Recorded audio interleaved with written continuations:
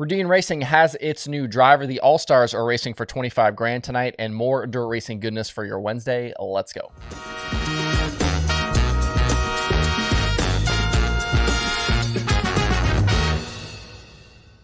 Today is Wednesday, July 6th, 2022. Welcome into DIRTRACKR Daily. I'm Justin Fiedler. The much anticipated driver announcement for the Rudeen 26 sprint car came yesterday afternoon with the team naming Zeb Wise the new wheelman. Wise replaces Cory Eliason, who was released last week after more than three seasons with the team, and the new pairing will begin next Tuesday night at Attica for the Brad Doty Classic with the World of Outlaws, so not tonight at Lernerville with the All Stars. Wise ran a second car for Rudeen during the Dirt Cup at Skagit recently and is currently fifth in the All Star standings with two tens, uh, two tens, two wins, 10 top fives, and 15 top tens through 25 races this season. This is uh, year three of full time competition with the All Stars for the 19 year old driver from Indiana, with his rookie season happening behind the wheel of the McGee 11, while 2021 and thus far in 2022 have been uh, with his own Wise Pretty team. Uh, that is a partnership also with crew chief Wayne Pretty. In a post to Twitter, Wise mentioned that he will be racing through the weekend in the 10 car, including tonight at Lernerville and Friday and Saturday at Ransomville and State Line. From there, he'll jump in the 26, with the 10 car being parked for the time being. The loss of Eliason from the 26 and Wise shutting down the 10 means we've effectively lost an entire full time team from the All Star roster. It also takes both Wise and Rudeen out of contention for the All Star Championship because that series awards the title based on owner points. Rudeen will miss the next three All Star shows, and they were already way down in eight, so they're out of it, and the 10 goes away after this weekend. Uh, that is, unless some sort of weird points swap situation is happening behind the scenes that I don't know about. Maybe my buddy Blake Anderson can clue me in there. So right now we're left with Tyler Courtney, Justin Peck, Parker Price Miller, Cap Henry, Zeb Wise, who can't win the championship, Hunter Schuerenberg, Bill Balog, Kyle Reinhardt, and Chris Windom as full-time All-Star drivers. From the perspective of Kevin Rudeen, I understand this move to put Wise in the 26. He's a young and up, uh, up and coming driver. He's already won with the series and is continuing to improve, uh, especially being so young. But I'm a tad disappointed we didn't get to see a fresh name in this seat. Maybe promote a West Coast guy or someone else on the rise from around the country. Uh, and, and, I don't know that this move solves all of the problems for the 2016, team, but we'll see going forward if some new blood and some fresh energy can uh, kind of get this group moving in the right direction again.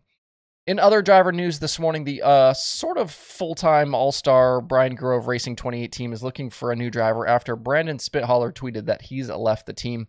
Spithaler will be in his own 22 car tonight at Lernerville. The 28 was originally going full time this year with Tim Shaffer behind the wheel, but that didn't last very long. And then Spithaler jumped in the car in May, but is already out again. We'll see if that car is at Lernerville tonight with another driver. And looking ahead to tonight, the All Star teams will race for 25000 to win at Lernerville for the Don Martin Memorial Silver Cup. After being a World of Outlaws sanctioned event for a pretty long time, this race is now All Star sanctioned because of issues between Lernerville and World Racing Group. You might remember Lernerville went ahead and flipped the Firecracker 100 from World of Outlaws to Lucas sanction for 2022, and the loss of the Outlaw sanction for the Silver Cup was basically collateral damage here.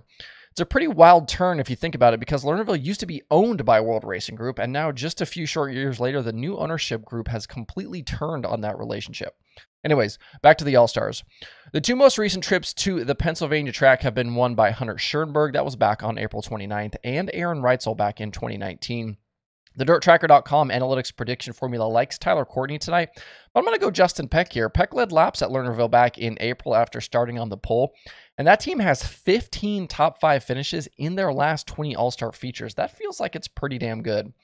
Peck only trails Sunshine by 38 points currently, and he's got three chances this week to try and close that gap down. There are some rain chances in the area today, so pay attention to that if you are headed out to the racetrack. You can also watch this one live over on FloRacing.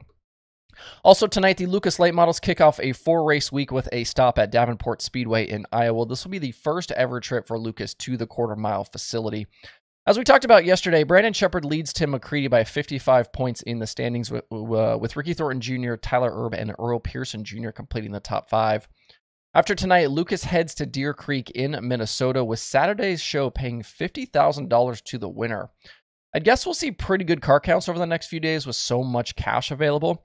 Tonight, the analytics prediction formula likes Brandon Sheppard, and I'll agree here. He was really good last weekend, picking up the win at Muskegon County on Sunday, and he's won four of the last seven stops at Davenport with the Outlaws. In those seven races, his average finish was an incredible 2.43. Tonight's action will be live uh, on both FloRacing and Mav TV Plus as we kind of still await for that deal to finish out. Speaking of dirt late models, I get asked pretty regularly about the chassis situation in dirt late model racing. Who's the best? What do the stats look like? Why is one doing better than another? Kind of etc. These are all really tough questions because things are so cyclical and it really depends on the team and the driver. Right now, we've got Rockets leading both National Tour point standings between Sheppard and Dennis Erb Jr. McCreadie and RTJ are both Longhorn guys. On the outlaw side, Max Blair and Tanner English both drive Rockets. Devin Moran has won plenty this season in a Longhorn. Jonathan Davenport grabbed the million at Eldora in a Longhorn. Chris Madden has won a whole bunch of money this year in a Rocket. Bobby Pierce has won with the Outlaws and Summer Nationals in a Pierce Platinum. And we've got a guy like Chris Ferguson who won a Crown Jewel this season in a Bloomquist. I think you could probably make arguments for a lot of these chassis builders being really good on any given day. But I think it really comes down to what drivers and teams are really comfortable with. And we've even seen plenty of times, like Tyler Erb this year, where guys go back and forth between chassis manufacturers. There's definitely not a black and white answer when it comes to these questions around dirt late model chassis. And so it's really hard for me to sit here and say, oh, Rocket's better, oh, Longhorn's better. Kind of just depends on which way the wind blows, it feels like.